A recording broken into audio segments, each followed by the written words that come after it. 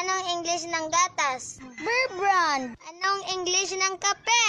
Kopiko. Anong English ng shampoo? Sunsilk. Anong English ng motor? Honda. Anong English ng cellphone?